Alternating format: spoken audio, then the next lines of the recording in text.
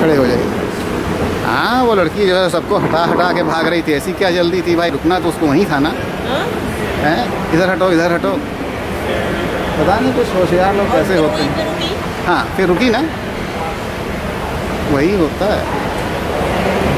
क्या दिमाग है लोगों का। समझना मुश्किल होता है। अब हम गेट वाशिंगटन डल्लस से ट्रेन से जाएँगे।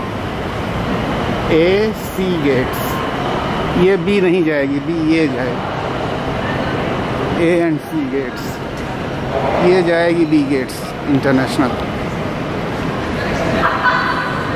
security checkpoint में तो उसको यस करूँगा। हाँ बेस्ट फोर मिनट्स में आ रही है।